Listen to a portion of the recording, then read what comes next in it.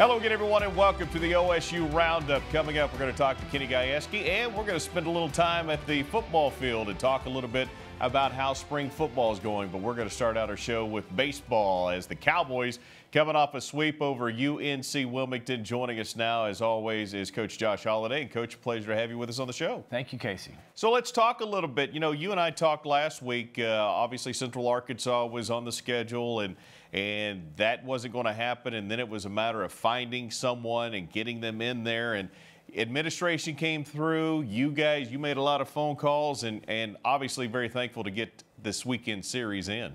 Yeah, it ended up being a really good series for us. Uh, the doubleheader was a little bit of a uh, result of kind of the rain and then the projected high winds of upwards of 50 mile an hour gusts. That's not great for baseball. So Saturday ended up being a doubleheader day. It was a beautiful day, start to finish. A lot of good baseball played over the course of a split doubleheader. And then uh, we put ourselves in position to head into Sunday uh, with a chance to once again sweep a series. The kids were responsive on Sunday. I thought our pitching was really, really good uh, the whole weekend. Our starting pitching in particular was outstanding. And then, uh, you know, game after game, you're starting to see more and more chances on offense, and then more and more guys deliver big hits. So uh, I like the direction that the team continues to go. Uh, I like the depth that's being formed as we uh, have played a lot of the season without some regulars. Those guys start to come back.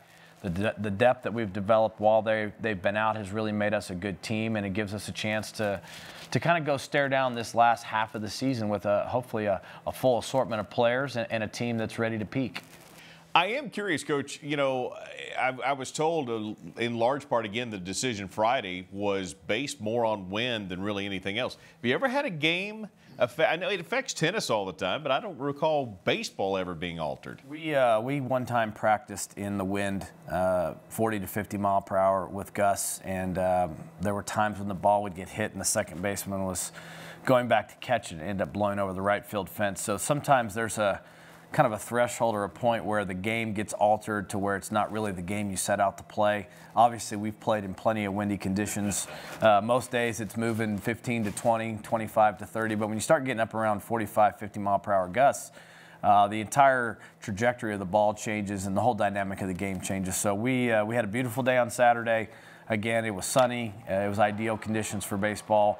Uh, we played well. Our kids went out and, and, pitched it, caught it clean, and hit it pretty good. So I thought all three of those games definitely elevated us as a team. Well, in the game, first game on Saturday, 7 6. And so you were pushed a little bit, too. So you got challenged, you got W's, you got them all in. I mean, again, everything you want out of, out of that kind of a weekend. Yeah, you know, game one got a little interesting. Uh, Parker had a great start. Uh, we went to the bullpen. Cable threw the ball really good in the eighth inning. He came out in the ninth and couldn't quite find the strike zone. Then we asked our closer to essentially navigate a bases loaded, nobody out situation. And uh, they, they, they put three balls in play. They found some base hits. And next thing you know, we're staring at a, a nail biter. But Brett Standlee once again rose to the occasion. He showed great courage on the mound. Uh, he made his pitches, and we kind of uh, eluded what was a very, very strong UNC Wilmington rally in the ninth to win that game. Uh, come back in the nightcap. Justin Campbell once again throws the ball extremely well. We swing the bats good. Uh, so Saturday, you know, a lot of baseball, but a lot to be uh, excited about, a lot to build on. And then, uh, you know, the Sunday game, Robleski once again pitched another nice ball game for us. Uh, we swung the bats. There were some some big swings of the bat. I thought Encarnacion's homer, along with Nolan McLean's homer, uh, those were big swings. And then McCusker's had a big impact on the lineup since he's returned. So those guys were forced in the middle of the lineup, and we've had a lot of guys kind of uh, starting to swing the bat, I thought Cabbiness swung the bat this weekend in particular about as good as he ever has since he's been here. He was really on the ball, uh, really staying through the middle of the field. His power was showing up, putting the ball in play, taking walks. So I thought Cade was really outstanding as well. So it improves you to 21, 7, and 1 on the season. Then, coach, before you get ready to go take on TCU, you've got the, the, the tilt with ORU. Ends up being a no decision, which, you know, the biggest shame in that, uh, again, whether you would have gotten the win, uh, it certainly felt like momentum was headed your way and you were going to get the win. But Bryce Osmond, his nine strikeouts through five innings are unofficial now because it doesn't go in the books. But, boy, he was having a great night for you. Yeah, it's official in his mind because he knows what he – was doing. He knows how he was executing. He knows how he was competing. He knows that he was uh, working at a very high level, and that's growth, and that's the kind of confidence and, and learning curve that goes with us, whether it's on the stat sheet or not. It's cemented in our own thought process, and that's the, the place where we're most uh, excited that he knows, hey, I can go out and execute pitches at a very high level. I have a chance to be a dominant pitcher. So, uh, yeah, strange game. I can't say I've ever been a part of a no contest. Um, I didn't sleep super easy last night, just trying to wrap my hands around it. But uh, Mother Nature rolled in, rolled in with lightning, rolled in with rain, and, and, left us kind of standing there waiting to see what would happen. So it is what it is. I guess in a year like this, you, you kind of prepare for just about anything. Yeah, tied up, two on, no out, and the bottom of the fifth had a chance. And that if you get the, you know, get there, get the lead, it is official. You've been part of a tie this year, yes. So you just chalk it up to to this season. Let's talk about TCU real quickly, though, Coach. Obviously, this is uh, this is one of the contenders in the league. This is going to be a it's going to be a heck of a series for you guys. Oh yeah, very good ball club, a lot of talent, and uh, very well coached. Always have been uh, at their place. Uh, you know, good atmosphere to play ball. Really talented opponent. Strong starting pitching, a couple good relief pitchers, and a lineup full of very good athletes. So, should be another great challenge for us, uh, but one that we're ready for. We just got to go down and continue to do the things that make us uh, go, continue to get good starting pitching, uh, develop that timely hitting throughout the game, and and then uh, you're going to have to win a one-run game. You're probably going to have to win a game as well where you out hit them a little bit. So there's going to be some challenges for us, but uh, our group's up to it. These guys have been responsive all year, and we're looking forward to heading down there and playing what should be a, a marquee matchup across the country. Yeah, no doubt about it. 6:30 on Friday, 2 o'clock on Saturday, 1 o'clock on Sunday. All three games are on ESPN Plus if you don't make the trek down to Fort Worth. Coach, appreciate the time. Best of luck this weekend. Thank you. Let's take a break. What's happening on the diamond on softball's concerned as far as they're concerned? We'll talk to Kenny Gajewski coming up next.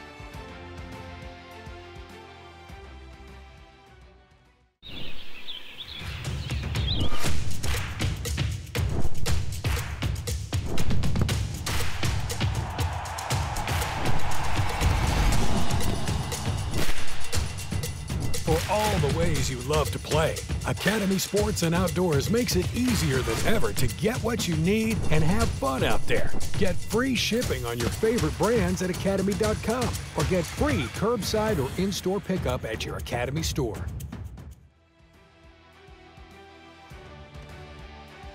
Welcome back to the show. Let's talk what's happening on the softball side. Kenny Gajewski joins us now. And, Coach, always a pleasure to have you with us on the show. Thank you. Big weekend. Boy, you guys went out to West Texas, and we talked last week. You never know what you're going to get in in uh, Lubbock, but you guys went out there, really had a really good performance, came away with three wins, and that's a good weekend. Yeah, it was really fun. We, I'm really happy the way our girls performed. They've been working hard. Carrie got us going on Friday night, and Chyenne had the big home run in the, the seventh to uh, seal that game, a 1 0 game, which is not uncommon in this conference on a on a Friday night. And then uh, over the weekend, our, our bats really came alive and really, really uh, feels good to watch these kids perform and, and watch their hard work pay off. You know, at this point, you don't want to be peaking, but now may be the time to start stepping on the gas and start aiming towards that because we're still in a marathon, not in a sprint. But in talking to you, it seems like you feel like, okay, we've hit the gas a little bit. We're really starting to get where we need to be. Yeah, we've shifted. We've shifted into fifth gear. I mean, we're there. We're. This is the time. This is why you train all fall. This is what you do. There's no. There's no need to save anything at, the, at this point. You're you're pushing to get better. Um, you're trying to find the right buttons to push. Um, and uh, you're getting to where you're starting to limit who's getting at bats and all that kind of stuff. And it's hard. It's hard as a coach. It's hard as a kid who's fighting to play. Um, but it is what it is. It's that time of year, and and um, I like where this team is at. We have not played our best softball yet, and I'm starting to see it more and more each, each, each day. And that's what good good teams do. They they start to play their best softball late. So you look at Friday night, coaches scratch and claw, which as you mentioned against everybody, you're going to have to do that on Friday night. You turn right back around on Saturday. We've talked about how teams have responded, you know, from a, a difficult Friday night. Well, you you not only built on that Friday night, then you get the clean sweep. That's not easy in this league for anybody. No, it's not. It's it's not. It doesn't matter who you're who you're up against. Uh, every team in this conference has a lot has a lot of pride, has good athletes, and um, you know we're in a good spot. We, you know, when you win that fir- that first game, it takes some pressure off. We had a chance to score a lot of runs on on Friday night. We just didn't get the get, get them knocked in, and then uh, we got them knocked in on Saturday and, and Sunday. So winning that first game is a huge deal, um, and it really breeds that confidence that you really need to play this game.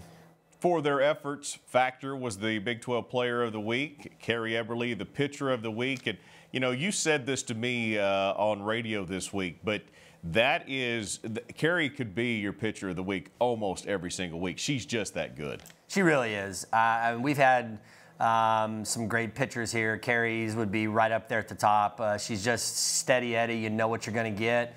You know she's going to keep you in each game. She competes. She makes pitches when it counts um, and uh, just continues to lead our staff. You know, if I'm a young kid on this staff, I, I'd, I'd be taking notes. I'd, I'd have a notebook full of things of, of what she does and how she she makes it happen. Um, and then Chyenne just uh, you know has that big home run on on Friday night. It just bleeds into the rest of the the weekend, and, and it gets contagious. And um, and uh, obviously our team was uh, was feeling that, and and um, it was fun to watch.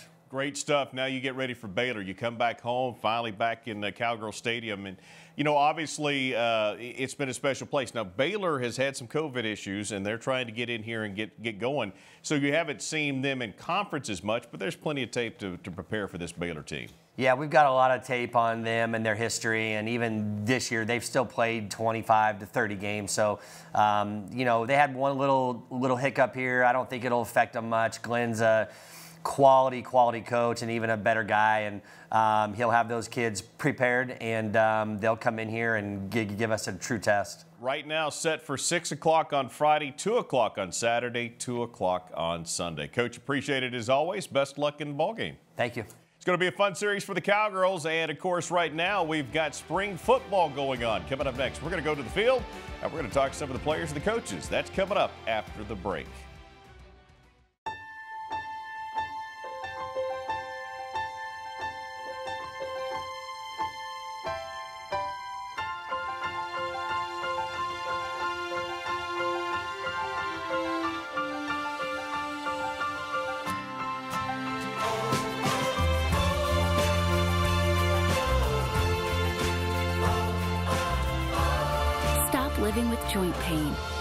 First step at mercy.net slash cowboysortho.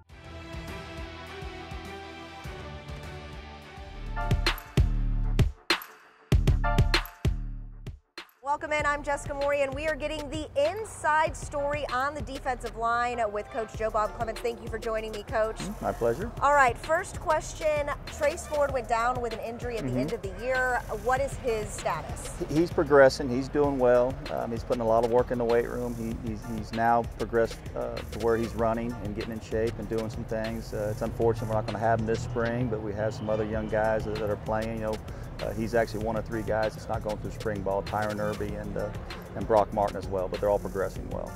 And uh, you had some guys, um, you know, they got a lot of experience on the line last year, mm -hmm. returning starters coming back. What's it like having that experience? Uh, it's it's nice um, because it, re it really gives you an opportunity with, with, with them having accumulated so much experience and reps that you really can kind of focus on some guys that might not have had the same amount of experience. So a lot of young guys are getting a lot of work right now. And what are you expecting to see from those young guys? Uh, well, right now through three practices, just pleased with the really how the how they're retaining information. Uh, they're really handling the information well. Uh, they're, they're, they're, performing well on the practice field. And granted, we don't have pads on yet, so for defensive linemen, it's a little bit uh, uncertain to actually see them compete with pads on. But just as far as their work ethic and their focus and, and being able to retain information and, and carry that out on the practice field has been impressive. You guys missed out on spring last year because of COVID, but we're back this year in 2021. What are you looking to accomplish this spring? Really development. You know, spring ball is a really critical time to kind of develop uh, your players, especially young players that might not have a lot of experience. Your older players kind of refine um, and develop some new strengths, uh, uh, maybe compensate for some weaknesses they might have had the, the previous season. Uh, and, and, missing out on that, I thought it really hurt just our overall development um, for some of our younger guys. You know, they, they weren't they weren't they didn't have themselves in position to help us last fall, and I think a lot of that can be contributed to what the the disruption we had with COVID. Thank you so much. That is the inside story on the defensive line.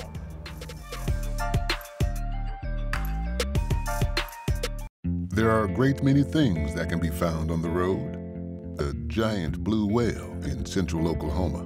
Musicians in search of that perfect melody. You'll even discover the center of the universe. You'll find stories of lives led, challenges met, and men who raise pigeons. They're all out there waiting to be discovered all you have to do is follow the road. Phillips 66. Live to the full.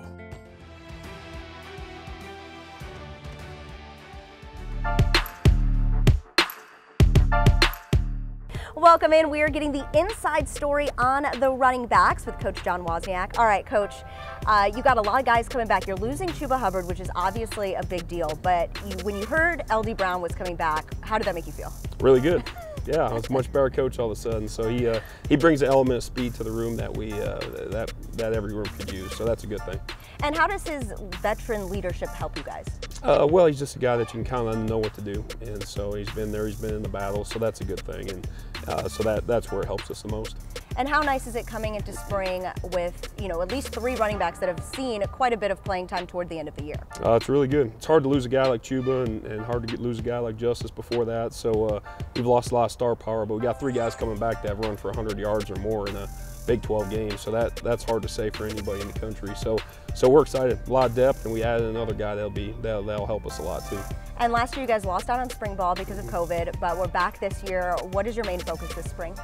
Really for the uh, for the new guys, for Dominic Richardson just got here uh, before camp started. And so he really just had a couple weeks of practice, had to start playing in some games. So this is big for him as far as uh, picking up blitz, getting the little things of the, the offense. Jaylen Warren the same way, he's just getting here from Utah State. So he's had four really good practices, but just learned the base offense. So uh, that, that's really a big focus for those two guys, uh, being a little bit newer to the program. And then uh, the two older guys with Dezmon and LD just got to keep their, um, keep their razor sharp. So uh, they can't lose their edge and got to keep improving every day. Awesome. Well, thank you so much. That is the inside story on the running backs.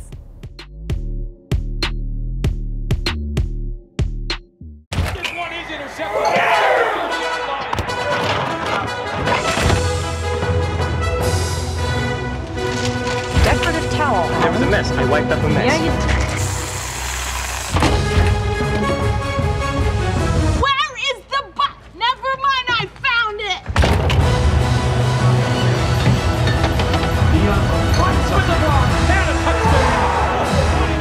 When game day is a go, there's a Bud Light there. Welcome in. Let's get another look inside spring practice. I'm joined by sophomore wide receiver Brennan Presley. Thank you so much for joining me. No problem. All right, so this is your first spring here with Cowboy football. You guys missed out on spring last year. How has spring been going for you? Uh, it's been going well. We've just been out here like working, just having fun, trying not to make things too, too difficult, just playing fast and you know just having fun together. And you're coming off of you know the best performance of your young career in the Cheez It Bowl. What's it like coming into spring now after having a performance like that? Uh, it's a lot. It's a lot of expectations you gotta you know live up to. But you know we've been trying to just do a good thing of just you know coming together, not making it about last season. This is a new season, so you know last season's over with. Just gotta work, put your head down, and you know nothing is given. So don't take advantage of anything. Just you know work for everything you want. And what's the receiver group looking like this spring? Uh, we're looking good. We're looking good. I mean, we're very young. Uh, I think Braydon Johnson is the oldest one, but other than him, we're looking very, very good. Just very young. So it'll take some time just uh, to get that rhythm and chemistry with the quarterbacks. But I think it's going to be once we build that rhythm and flavor and chemistry up, then I think it'll be something special. And what is something you're working on specifically this spring? Uh, just you know, a deeper understanding of the playbook, just route recognition, coverages, the mental side of the game more than the physical. Awesome. Well, thank you so much for joining me. That is sophomore wide receiver Brennan Presley.